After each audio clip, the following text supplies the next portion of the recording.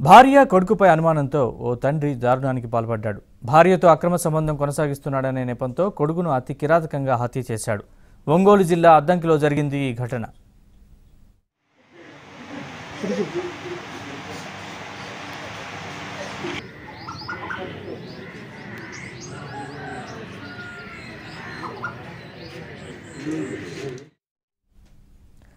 రావినూతల గ్రామం ఎస్సీ కాలనీకి చెందిన పులిపాటి లక్ష్మయ్య అలియాస్ మరియాదాసు అర్ధరాత్రి ఇంట్లో నిద్రపోతున్నాడు. మరియాదాసు తల్లితో అక్రమ సంబంధం ఉందనే నెపంతో అనుమానం పెంచుకున్న తండ్రి సుబ్బారావు కొడుకుపై దాడి చేశాడు.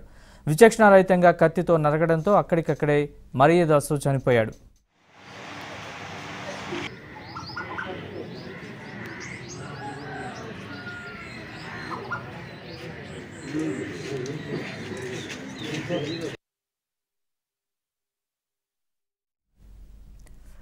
తల్లి కేకలు వేయడంతో స్థానికులు వచ్చేలోపు నిందితుడు అక్కడి నుంచి పరారయ్యాడు. ఆ తర్వాత కొరిసపాడు పోలీస్ స్టేషన్లో లొంగిపోయాడు.